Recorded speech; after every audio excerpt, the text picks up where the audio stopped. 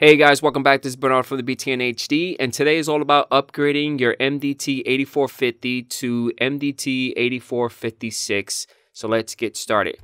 Now, uh, I like testing out my MDT stuff within VMware Workstation. So the first thing that I'm going to do, and hopefully this is what you are going to do, is uh, I'm going to take a snapshot. So within my VMware Workstation, I'm going to right click on that tab, go to Snapshot, and take a snapshot, and just click on Take a Snapshot right? Done.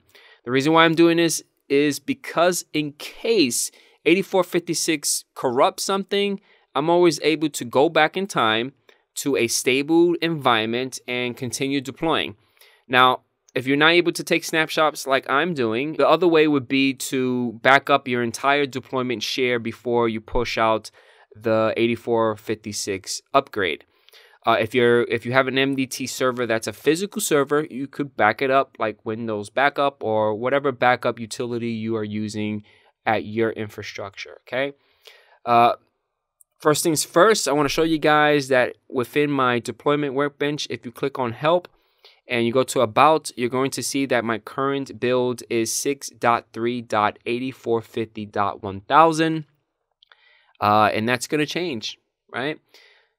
So first things first, I have a folder within my desktop and on the desktop it's called V as in Victor or version uh, 8456. Inside that folder I have three things, uh, your ADK setup, your ADK WinPE setup, and your Microsoft Deployment Toolkit 64.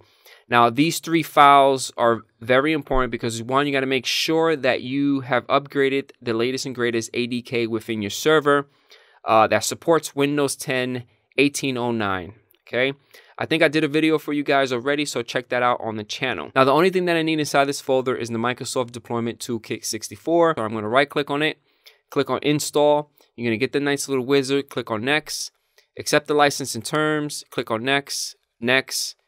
Uh, if you want to join the Customer Experience Improvement Program, go for it. I'm not going to do it, so I left it as I don't want to join the program at this time. Click on next, install. It's going to start removing all the files and you're done. It's pretty seamless. Click on finish. Next thing we need to do is click on start, locate your deployment workbench, open it up, launch it up. Now, when you expand your deployment share node, you're going to see that your primary MDT node has an exclamation point. When you select it, you're going to see this, unable to restore the deployment share. Do not freak out, okay? Please don't freak out. Just right click on it and pick upgrade deployment share. You're going to get a nice little upgrade deployment share wizard. Click on next. From here, this process takes between five to 10 minutes. It really depends on how much information you have within your MDT server. Uh, it depends on applications, drivers, task sequence, operating systems. So this process will take some time. Eventually, when everything is done, you're going to get this. That's a good thing. Click on finish. And now that exclamation point within your MDT share is gone. Now you're able to expand it and you should see all your nodes. Awesome. Now for me, I like to right click on my primary node and just do an update deployment share. You don't really need to do this, but this is just me being paranoid.